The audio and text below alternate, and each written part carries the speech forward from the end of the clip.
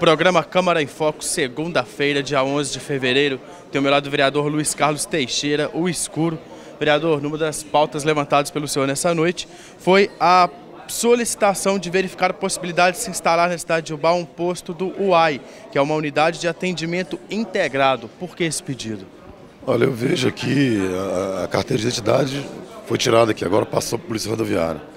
Então isso é para dar mais mobilidade à, à população é, fazer um estudo técnico para fazer um, um, local específico só para atender, tirar sua carteira de identidade, sua carteira de trabalho, enfim, os documentos num local só.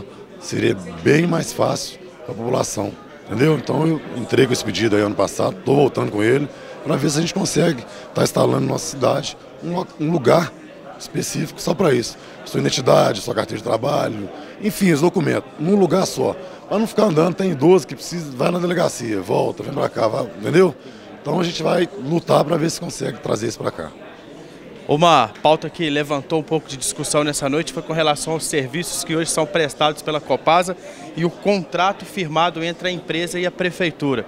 O senhor até num, num, num, ato pediu a voz, falando que vocês são muito cobrados pela população com relação à questão deste contrato.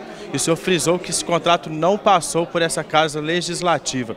Então o espaço está aberto para que o senhor também possa falar com a população baense um pouco sobre o posicionamento do senhor e dos outros vereadores dessa casa com relação ao trabalho que vem sendo feito pela Copasa aqui na nossa cidade. Sim, com certeza. Aí que eu falo, a população talvez, é, uns não tem tempo para vir, e outros perguntam a gente na rua, ah, você assinou o contrato com a Copasa, vocês vereador. A gente fala, não, o contrato não foi com a gente. O contrato foi pela prefeitura, que assinou o contrato. Então, e o atendimento da Copasa aí também, que, né, é, muita gente reclamando, faz os buracos, fica 10, 20, 30 dias, não vai arrumar. Então vem essa reclamação.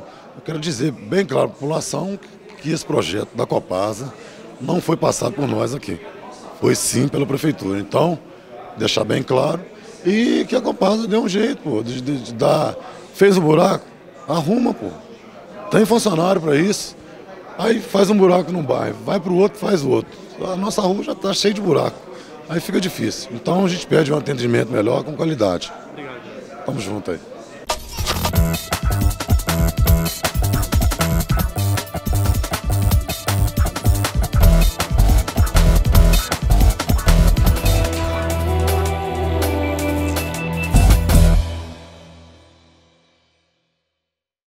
Anúncio na TV Uai e apareça para milhares de pessoas ao mesmo tempo. Solicite uma visita de um de nossos corretores pelo fone 999701001. Na TV Uai você aparece de verdade.